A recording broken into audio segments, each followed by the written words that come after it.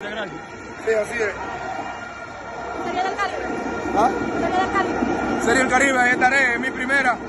Yo mediante creo que no he tenido la oportunidad antes, porque todo el mundo sabe que pertenecía a equipo asiático, equipo de Estados Unidos, y no tenía la oportunidad, pero ahora la tengo y creo que voy a ir allá a representar mi patria, a representar a República Dominicana y a dar lo mejor de mí.